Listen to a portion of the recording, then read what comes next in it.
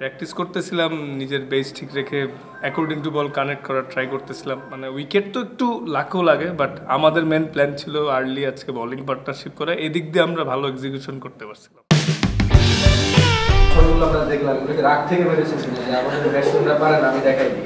না না রাগ করে মারতে চাইলে তো আর লাগবে না ভাই।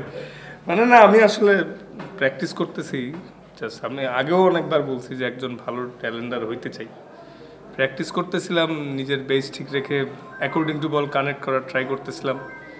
দেন মারছি হ্যাঁ মানে আসলে ব্যাটসম্যানদের উপর রাগ করব কেন? মানে ওরা তো আমাদের টিম মেট হ্যাঁ একটু ডিসঅ্যাপয়েন্টেড যেহেতু লো স্কোরিং গেমও হয়তো আমরা একটু মানে চেস করতে পারিনি চেস করা ডেফিনেটলি উচিত ছিল। আমি শিওর যে যারা আমাদের টিমের ব্যাটসম্যান ওরাও একটু ডিসঅ্যাপয়েন্টেড দিন শেষে আসলে ফ্রাঞ্চাইজি লিগ বাংলাদেশের সবচেয়ে বড় টুর্নামেন্ট এটা সবার কেরিয়ারের বিষয়। তো নট এ নাইস ফিলিং যে ম্যাচ হারার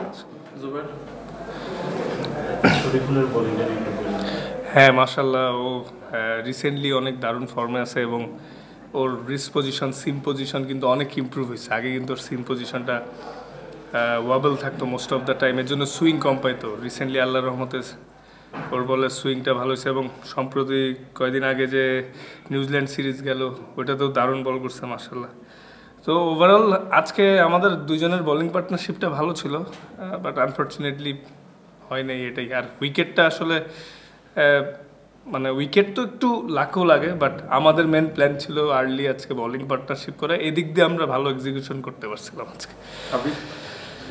আপনি ঢাকা থাকতে বলেছিলেন যে নিচের দিকে লোয়ার অর্ডার ব্যাটসম্যানরা যত বেশি রান অ্যাড করতে পারে সেটা দলের জন্য ভালো। আজকে আপনি সেটা এক্সিকিউট করতে পারলেন। আপনি আপনার আপনি এটা ন্যাশনাল টিমেও এক্সিকিউট করতে চান মানে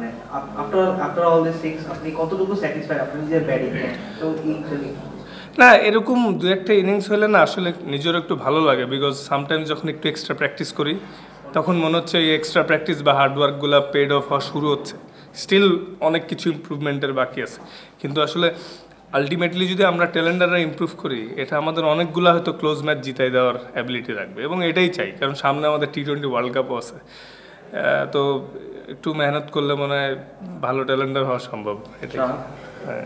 তাসির ভাই শরীফের সঙ্গে বোলিং পার্টনারশিপের কথা বলছেন আপনার ন্যাশনাল টিমেও আসলে হোয়াইট বলটা বলটা শেয়ার করেন নতুন বল মানে গোয়িং ফরওয়ার্ডে যা বিপিএলটা খেলছেন। ন্যাশনাল টিমের জন্য আসলে কতটা হেল্প করবে জি অবশ্যই আমরা হেল্পফুল তো হবেই কারণ আমরা আল্লাহর মতে পাঁচ ছজন লাস্ট কয়েক বছর ধরে একসাথেই খেলতেছি। এবং একজন আরেকজনের কোনো ল্যাকিংস থাকলে আমরা ধরাই দিতে পারি ইজিলি যে মনে হচ্ছে তোর এটা আরেকটু ভালো করলে ভালো উনিও বলে ভাই এটা আরেকটু এমনি না হলে এমনি হলে ভালো। এই জিনিসগুলো কিন্তু আমাদের বন্ডিংটা আরও ভালো মজবুত করছে যেটা আমাদের সামনের দিনে অনেক খেলা আছে ইনশাল্লাহ ওইখানেও হেল্প হবে। তো আশা করি ভালো হবে আর এটাই আর কি। লাস্ট কোয়েশ্চেন মাহফুজ ভাই জিয়া ভাই। তাসকিন কোন সময় মনে হচ্ছিল যে ম্যাচটা আসলে হাত থেকে চলে গেছে রাতে ব্যাটিং নামার আগে? যখন চারটা উইকেট চলে গেছিল একটু আর্লি পঞ্চাশ রানে তখন হোপ ছিল বাট যখন মাঝখানে আরও দুইটা উইকেট চলে গেল মিডিল ওভারে মানে তেরো না চোদ্দ নম্বর ওভারে তখন আসলে ভাবতেছিলাম মনে হয় হাতছাড়া হয়ে যেতে পারে। যখন asking run rate around twelve thirteen হয়ে গেছিল আর কি।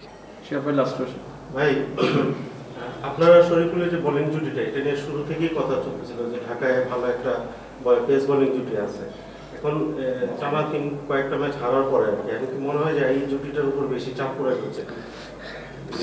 না, আসলে কি ভাই টি টোয়েন্টি ক্রিকেটে একদম বলে বলে এক্সিকিউশন করাটা একটু difficult sometimes good ball execute করার পরও ছয় মেরে দেয় অনেক সময়। ব্যাটসম্যানদের ইন্টেন্ট থাকে অনেক ভালো। কিন্তু আমরা আমাদের প্রসেস আর কাজটুকু যেটা যেটা কন্ট্রোলে আছে, সেটা ঠিক মতো করার চেষ্টা করছি। হ্যাঁ আমি মাঝখানে হয়তো ওয়ার্ল্ড কাপের পর একটু রিহ্যাবে ছিলাম। আল্লাহর মতে রিদম গেটিং বেটার আমার এখনও বেশ শেপটা আসে নাই। বাট আমি মানে ইমপ্রুভ হচ্ছে কারণ মেহনত করতেছি ইমপ্রুভ হবেই না হয়ে যাবে না কোথাও ইনশাল্লাহ ঠিক আছে তো এইটাই আমার বিশ্বাস এবং আমাদের যেই কর- কাজগুলা ঠিক মতো করার চেষ্টা করছি ইভেন সূক্ষ্ম সূক্ষ্ম জায়গাগুলো আরও যত ইমপ্রুভ করে সামনে আরও প্রেশার গেমগুলোতে আরও বেশি এক্সিকিউট করতে পারি এটাই প্ল্যান থ্যাংক ইউ আসি ভাই দোয়া করেন।